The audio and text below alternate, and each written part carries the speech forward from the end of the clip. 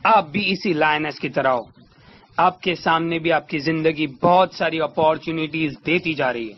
कुछ अपॉर्चुनिटीज़ बड़ी है, कुछ अपॉर्चुनिटीज़ छोटी है। आप सोच रहे हो हाँ आपको करना है हाँ आपको आगे बढ़ना है हाँ आपको लाइफ में चेंज लाना है, पर बैठ गए ऐसे। ऐसे ही बैठ जाओगे तो कैसे होगा? अगर आपको ज़िंदगी में चेंज लाना है तो आपको उठना पड़ेगा, कुछ करना पड़ेगा। अगर ऐसे ही देखते जाओगे तो देखते ही रह जाओगे। अगर कुछ करना है, आपकी ज़िंदगी में चेंज लाना है, आगे बढ़ना है तो कूद जाओ मेरे दोस्त। देखो मत आर या पार कर दो। अगर जिद नहीं लाओगे तो आगे कैसे बढ़ोगे?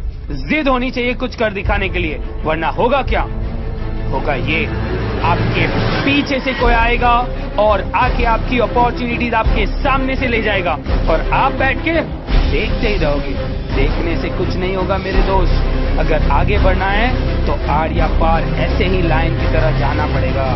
और कुछ कर दिखाना है तो जिद लानी पड़ेगी, वरना लोग आगे बढ़ते जाएँगे और तुम ऐसे ही बैठ के देखते जाओगे।